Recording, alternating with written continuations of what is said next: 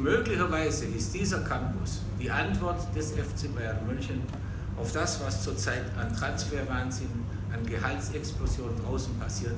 Vielleicht gelingt es uns mit diesem Campus wieder den Vorsprung, den die anderen durch Geld aus, aus dem Nahen Osten, aus Russland, wo auch immer, hier uns gegenüber haben, auszugleichen durch geschicktes Taktieren, durch die Ausbildung von großen Talenten. Und hier haben wir die Möglichkeit, das viel besser zu machen als in einer Segelstraße, wo wir ja, wie wir alle wissen, aus, wo alles aus allen Nähten geplatzt ist.